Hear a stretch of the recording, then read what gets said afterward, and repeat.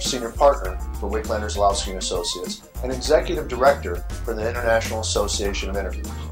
I've been with WZ for over 25 years, and one of my favorite parts of my job is not only doing the training, but receiving the feedback from individuals that have taken our training and listening to their successes.